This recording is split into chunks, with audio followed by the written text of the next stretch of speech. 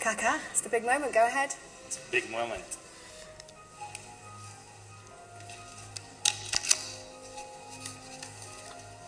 Ladies and gentlemen, the FIFA Ballon d'Or 2015 goes to Lionel Messi.